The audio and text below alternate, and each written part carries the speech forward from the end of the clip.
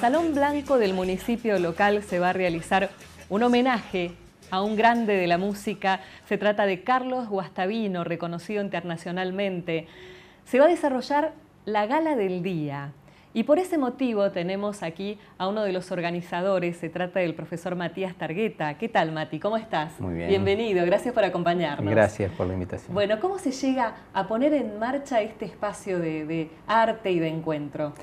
Bueno, eh, esta propuesta eh, surge desde el Departamento de Arte de la Secretaría de Extensión y está organizada junto con el Conservatorio Provincial de Música, Julián Aguirre. Eh, es una serie de conciertos que se han llevado a cabo durante todo el año. Este es el tercero.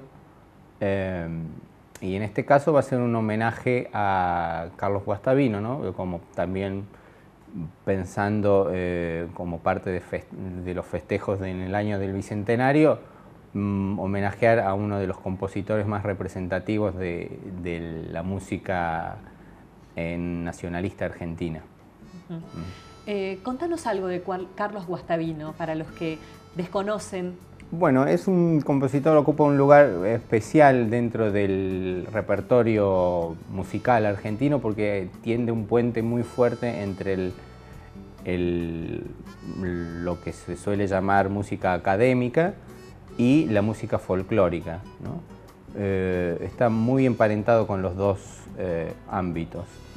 Eh, es un, un, compositor de una formación académica, pero que usó mucho melodías y ritmos folclóricos y mm, tomó un partido siempre por una música sencilla, digamos, de, similar a la música folclórica, una música sencilla y que llegue al, al oyente. Y, eh, digamos, como una toma de posición, se mantuvo alejado siempre de las corrientes vanguardistas de, de, su, de su, momento, ¿no? de toda la música contemporánea experimental. Eh, el nombre que se le ha puesto al evento Gala del Día se referencia a una serie de composiciones ah, que son sí, indianas. Sí, sí, sí, sí. Una de sus canciones muy conocidas se llama así, Gala del Día, ¿no? que es el título de, del poema sobre el cual se basa la canción.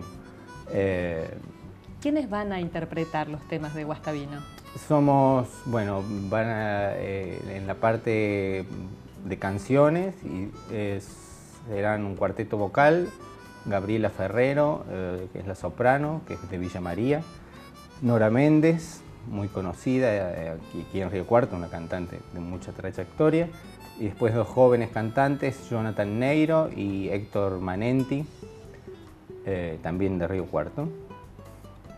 Y, los músicos que van a acompañar? Los músicos, bueno, vos en piano. Estoy yo acompañando a los cantantes en piano y luego va a haber una obra, una obra bastante importante, que es original para guitarra y cuarteto de cuerdas, donde va a participar Walter Cisneros, eh, también que forma parte del Departamento de Arte de la universidad, eh, él tocando guitarra junto con un cuarteto de cuerdas invitado.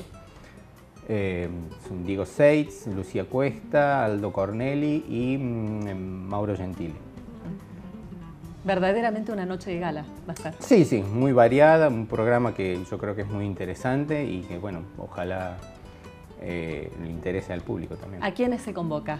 A estar presentes. A todos, a todos. El Público en general. sí, sí, es una música... ¿La entrada tiene costo? no, no, no, es entrada libre y gratuita. Con es más razón, el, entonces. Es tal, cual, es en el Salón Blanco de la Municipalidad a las 20.30. Bien, ibas a decir algo respecto de los músicos. Eh, de los músicos, Sí, bueno, que digamos, eh, hacemos un trabajo conjunto eh, habitual, habitualmente con varios de ellos, o los conozco, digamos, somos, eh, conocidos.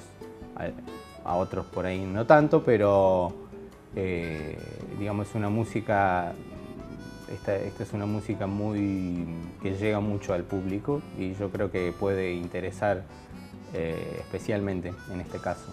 Eh, oírla, eh, oír todo, todo este repertorio que hemos armado. Es una primero, en la primera sección hay una serie de canciones solistas, después está la obra esta para guitarra y cuarteto de cuerdas. Y luego termina una, una serie de seis canciones que se llaman Indianas, que está escrita especialmente para cuarteto de cuerdas, con, eh, perdón, cuarteto vocal y con acompañamiento de piano. Bueno, el encuentro, un buen motivo, este homenaje para hacer el puente entre los músicos, los artistas y también el público, obviamente. bueno, que sea entonces exitosa la puesta en marcha de esta iniciativa. esperemos que sí. Bueno, muchas gracias por tu presencia aquí, Matías. gracias. por la invitación.